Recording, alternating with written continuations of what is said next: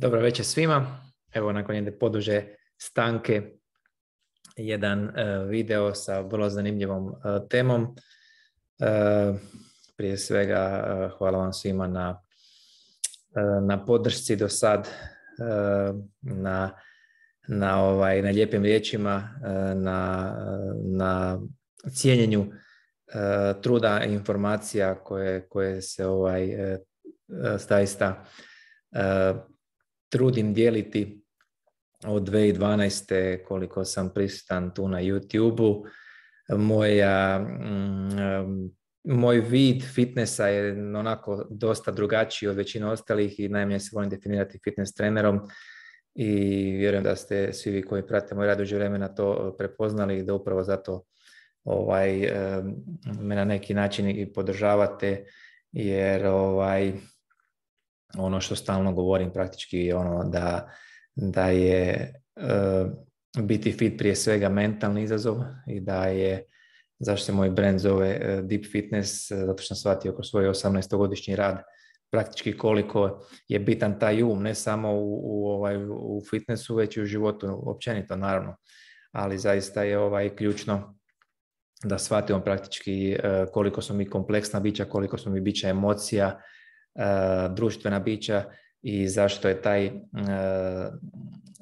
put prema zdravlju, prema optimalnoj tjelesnoj težini, prema uklanjanju svih tih tjelesnih i mentalnih e, ovaj, blokada vrlo kompleksan i zašto to nije samo jedi, više, jedi manje, vježba i više, kao što se ovaj, vrlo popularno ponavlja u fitness industriji. Puno, puno je, ovaj, vjerujem da ste i sami već do sad shvatili da je priča puno kompleksnija i upravo ćemo o tome danas pričati u ovom videu koji su to razlozi e, za koji uzrokuju debljenje, a o njima se vrlo rijetko priča.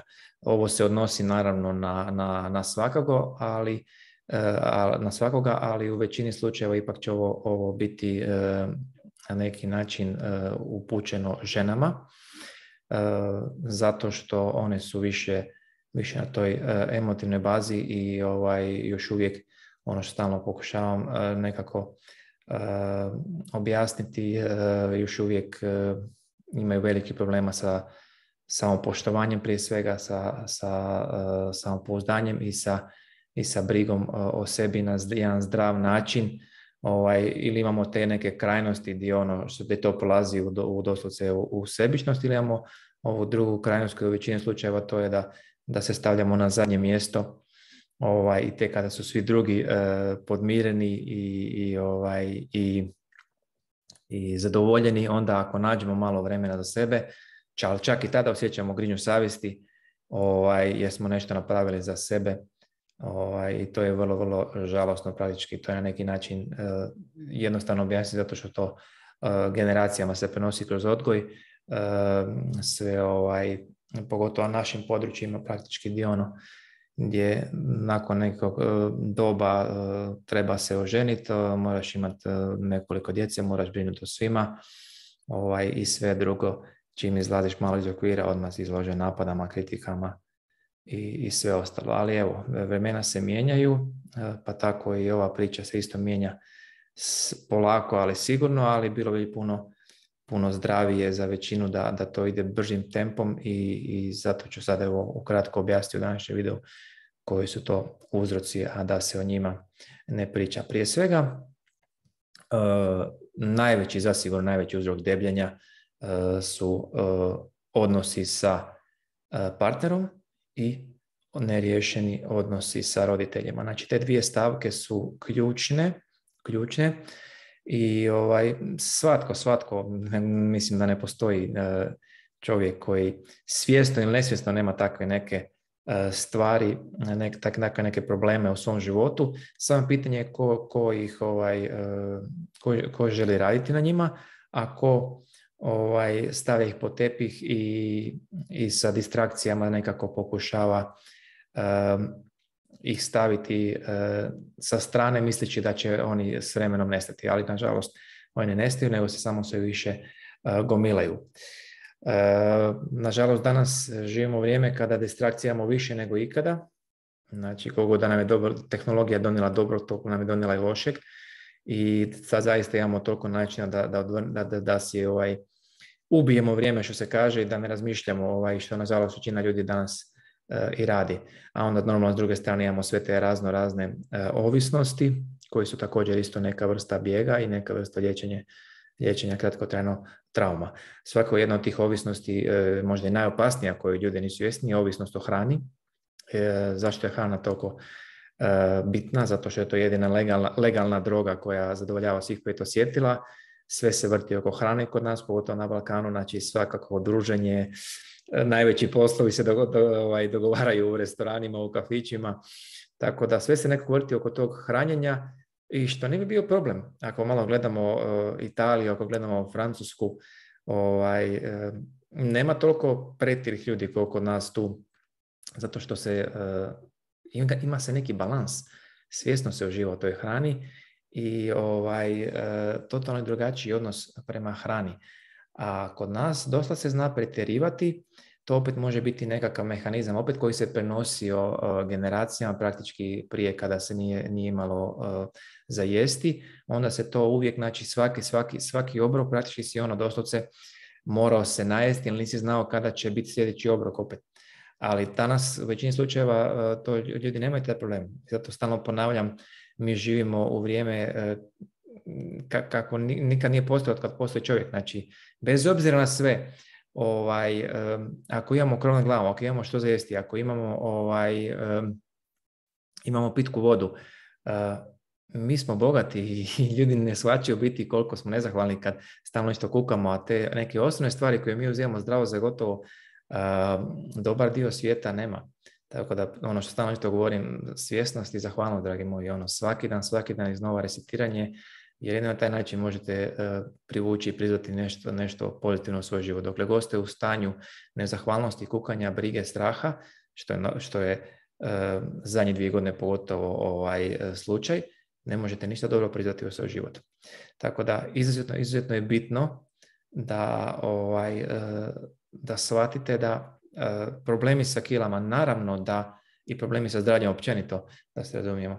Znači, naravno da to dolazi od viška, viška hrane, od manjka kretanja, od nedovoljno sna, od e, loših navika, ali i ovaj kažem, ok, ali idemo vidjeti šta je uzrok tome. Znači, šta je uzrokovalo to ponašanje? Znači, ništa ne dolazi samo od sebe.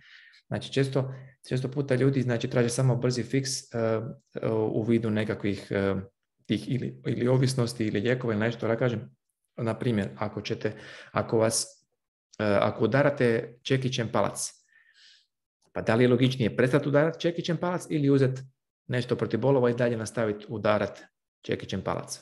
Znači, naravno, vrlo jednostavan odgovor. Upravo to moramo napraviti, znači, ali to jako je jednostavno, nije lagano, zato što sve te stvari praktički uh, odnosi s roditeljima i odnosi s partnerom, s partnerom uh, u, uključuje emocije. A čim su emocije uključene, naš, naš um, naš razum drugačije funkcionira. Kad prema nečem nemate emocije, kad nešto, ni, ne, ni na jedan način niste za nešto vezani i nemate nikakvu povezanost, onda je puno lakše donijeti neke odluke. Ali kad ste emotivno vezani, onda, onda, su, uh, onda, je, onda su te odluke puno, puno teže. To je prva stvar. Druga stvar, financijska neovisnost. Jako, jako puno je bio, ako pratite moj rad, bio sam prije par godina napisao baš da je 95% brakova i veza po meni jedna obična farsa i predstava za javnost. Danas mislim da taj broj bliži 98%.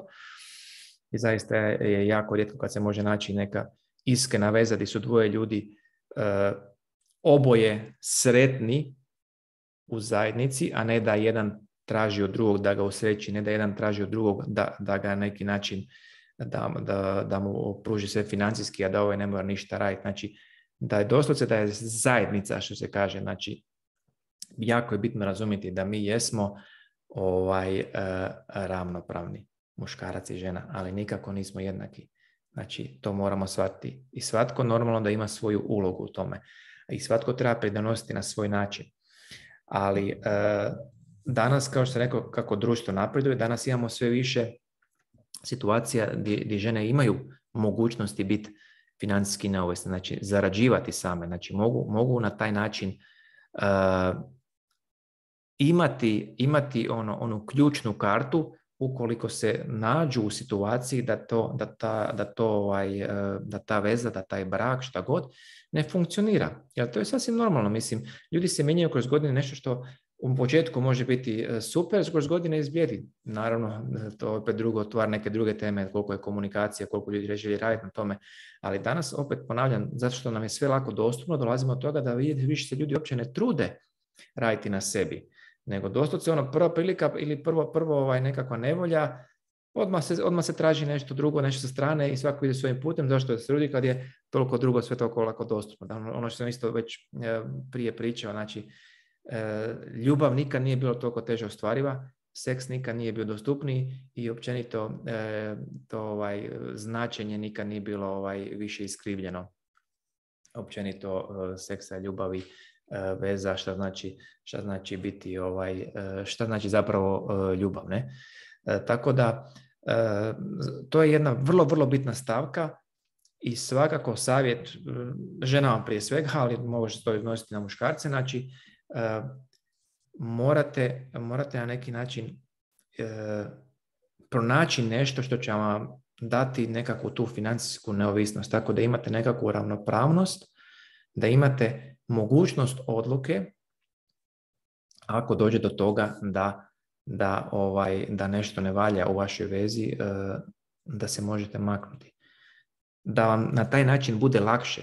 Jer ova druga varijanta u kojoj većina, nažalost, žena danas, a to je da je zbog straha od financijske nesigurnosti uh, se nalaze u vrlo toksičnim vezama, da ne pričamo o razno raznim vrstama zlostavljanja, ali opet i to je odluka. I to je ono što isto stalno pričam. Znači, mi svaki dan kad se probudimo, mi imamo na izbor kakav ćemo živjeti. živjeti. I nažalost vrlo često mogu vidjeti e, kako dosta žena prihvaća ulogu žrtve. I to je vrlo opasno. Kada se jednom usadimo u to i onda kad počnemo kriviti bilo koga za naše stanje, tu završava priča. Znači moramo preuzeti odgovornost za svoje postupke. Koliko god da je teško, a jako je teško, vjerujte mi, znam, znam strašnih priča i znam priča, dosta su se našli na cesti sa, sa, djecom, sa djecom žene ali su napravile pravu odluku, makle su se. I kroz taj drive, kroz tu želju da nešto naprave, su napravili doslovce ono carstva. Same od ničega s ulice. A, ali s druge strane ima jako puno njih koji se, se ovaj, uh, užive u ulogu žrtve. To je to, ja sam niko i ništa, problemi sa samopouzdanjem, samopoštovanjem, ne mogu, kako ću, nemam ništa, ništa ne radim, e, strah i zamislite vi kad ste vi u toj emociji stalno, znači toksičnoj straha, e, brige, šta mislite kako vaše tijelo reagira? Možete vi jesti najzdraviju hranu, možete svakodnevno vježbati. Nema šanse da nemate problema prije svega sa zdravljem, sa kilama, sa, sa ovaj, svim drugim e, bolestima koji uvijek dolaze, što kažem, iz uma i iz sjeva. Znači, ta, ta, taj emotivni aspekt je ključan. Tako da, evo, možda sam malo išao dublje u temu, kao što uvijek i radim, ali samo sam htio objasniti koliko je to kompleksno i koliko, koliko, je, koliko su to teške odluke, ali nažalost neophodne. Neophodne ako želite, ako želite biti e, sretni, ako želite biti zdravi. Jer dugoročno sve, sve te stvari vode u kronične bolje. Znači, bilo kakva oboljenja, vjerujte mi, uvijek su razlog, trigger nekakve emotivne blokade. Priča o povezanosti sa roditeljima, mogli bi o tome samo pričati satima, sa mamama, sa tatama, ovaj, onda uvijek neka želja za, za ispunjenjem njihovih želja, pa kroz djetinstvo nismo dovoljno dobri bili, ovaj, povijek neka ta želja za, za dokazivanjem, pa ovaj, svi ti problemi praktički mogu uvijek, zato je uvijek kad, kad pričate nekim ljudima, ok, idemo prvo mi reci odnos sa roditeljima, odnos sa partnerom, onda ćemo pričati ovom ostalom. Onda ljudi ono, ajme kako ne mogu, ne mogu ovaj, e, vjerovat e, kako to izima s fitnessom, ali ima to veze zato što je to baza svega. Jer ako ste vi stalno u tom negativnom emotivnom stanju, ovo drugo vam ništa neće znači. Tako da idemo prvo popričati o ome, vidimo šta možemo ovdje napraviti. Sve možemo napraviti, samo pitanje da li želimo. I opet se tu vraćamo na ulogu žrtve. Tako da jako je bitno da si svaki dan iznova resetirate, svaki dan iznova ako treba ispred ugledala par šamara si udarite i pitajte se da li je ovo život koji ja želim živjeti koji i znam da zaslužujem živjeti. Budite iskreni prema sebi. Ništa dobro u životu ne dolazi kukavicama, ništa dobro u životu dolazi onima koji stalno biraju ulogu žrtve i koji stalno traže isprike i e, kratice do, do, do uspjeha. Ništa dobro dugoročno. Tako da je jako bitno da preuzmete odgovornost za svoje postupke.